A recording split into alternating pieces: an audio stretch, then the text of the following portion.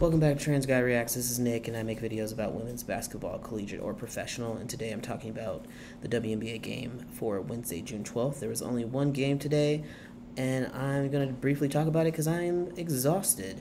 I had a kind of a long day today, and uh, I did catch the game, but um, yeah, it was. I was watching it on my phone, so I couldn't be as uh, engaged as I wanted to be.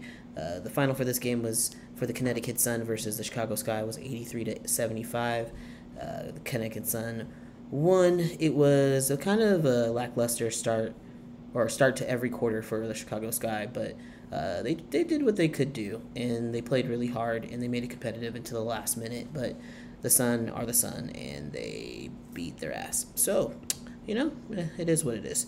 Uh, for the box score on this, DeWanna Bonner had 16 points, 8 rebounds. Alyssa Thomas had 20 points, 7 rebounds and six steals.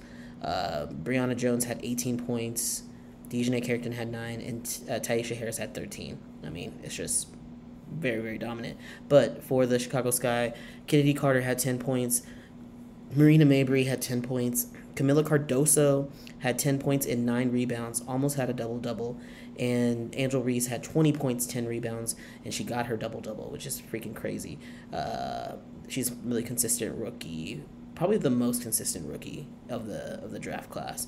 And then Diamond DeShields had nine points. So it was it was a fun game. Actually, I would say it was a little frustrating of a game because Chicago made a lot of errors, but it was still like fun to watch, and they did make it competitive at the last like two minutes of the game. So it wasn't necessarily a blowout. They could have easily won this game, but they couldn't put it together.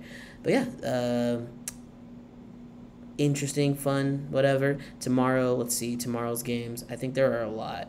No, there are three games tomorrow. Yeah, there are three games tomorrow. I don't know if I'm going to be able to hit, get those. I'm on vacation right now, and I probably won't be able to watch those live. So I'll probably just do a reaction to the scores tomorrow. But yeah, uh, thanks for watching this video. If you like this kind of quick game recap, uh, like, share, and subscribe. And I always like to remind people who watch my little quick little blurbs like this, I do not have my comment section on because I don't care what strangers think about me on the internet. See you in the next one.